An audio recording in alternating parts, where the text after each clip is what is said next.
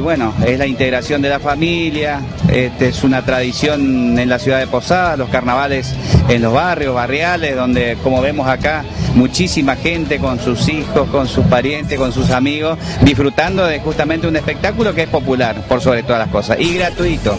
Muy, muy poca gente eh, en comparación a lo que era ayer, hoy es como un día feriado nomás, pero ayer sí, fue muchísima gente la que cruzó, mucha gente que venía del interior aprovechó el, lunes para salir este, y gente de otras provincias también. Yo creo que la parte psicológica la va a soportar bien, por más que duele eh, tener que retirarse, ¿no? Y joven, cuando nosotros calculábamos que tenía unos 3 o 4 años más por delante.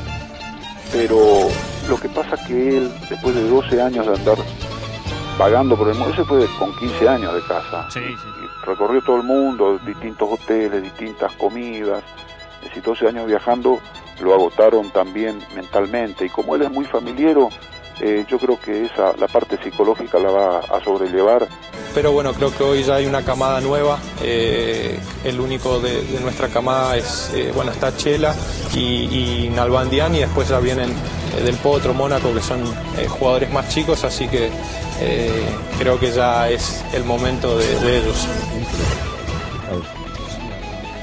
Y si multiplicamos el gasto de energía de habitantes por día, por números más o menos redondos, dicen que un argentino está gastando cada argentino por día algo así entre 7 y 8 kilovatios y un yankee arriba de eso.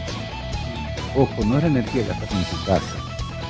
Se promedia todo el consumo de energía de un país y se divide por cada habitante. Incluye por supuesto residencial toda la energía.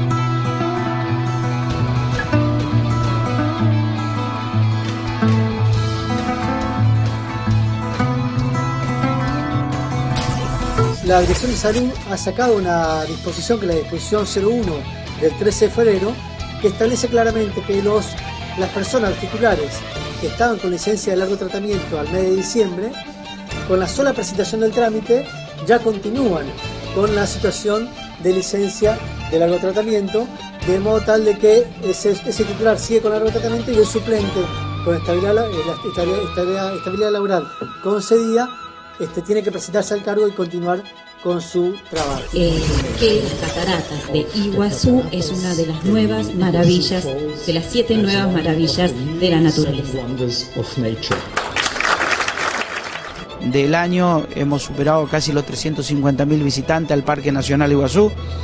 Eh, esto es un crecimiento muy importante, esto va a demandar eh, mayores servicios, eh, mayores puestos de trabajo, que en definitiva por eso yo expresaba de que para nosotros este desafío que habíamos asumido se traducía como responsable de un gobierno que es el gobernador, él planteaba al turismo y lo plantea al turismo como una de las actividades económicas más importantes de la provincia de Misiones.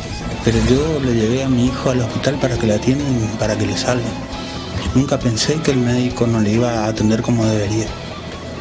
Yo sinceramente cuando le llevé al médico, le dejé en manos del médico y pensé que ellos le iban a, salvar y que ellos le iban a atender bien y no que le iban a dejar en una camilla sin atenderlo.